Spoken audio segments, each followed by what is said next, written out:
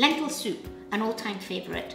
We love having this dish in Syria and every country has its own version and it's just so comforting and so easy to make and above all, it's also very healthy. We're gonna start with some olive oil.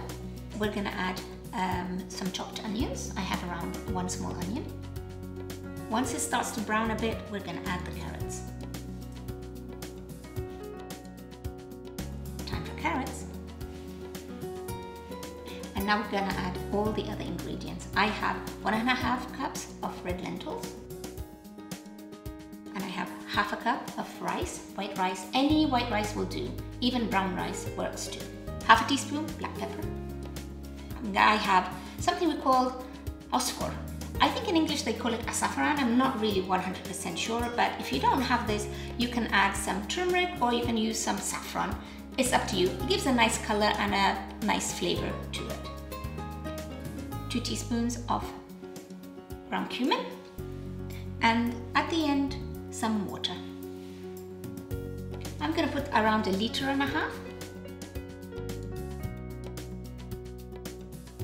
At this point, you have the option to add a vegetable cube or you can just leave it as it is. It's gonna cook around 20 minutes just until the rice and the lentils are soft enough and then I'm gonna show you the next step.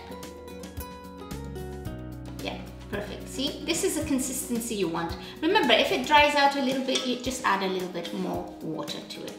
But the final stage is, I like it to be pureed. Some people like it chunky like this, the choice is yours.